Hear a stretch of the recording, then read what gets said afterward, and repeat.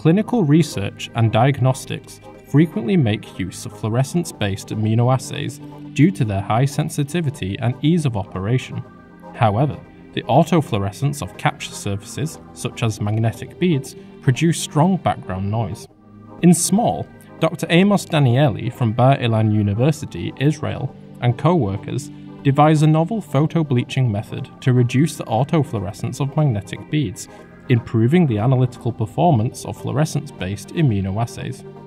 The system we use to photobleach the beads includes a laser that is reshaped by two plano-convex lenses, is reflected by the dichroic beam splitter, and focused by an objective lens onto the sample of magnetic beads. Two electromagnets aggregate the magnetic beads to one side of the cuvette. The laser excites the magnetic beads and the emitted autofluorescence is detected by a photomultiplier tube and displayed by an oscilloscope.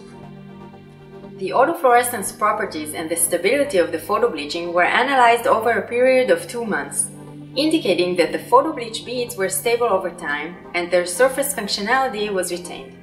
A commercially available immunoassay, human interleukin 8, was detected with a threefold improvement in the detection limit and signal to noise ratio of immunoassays compared to non bleach beads, and autofluorescence was reduced to 1% of the initial value. To find out more about this photo bleaching method to reduce the autofluorescence of magnetic beads, please visit the small homepage.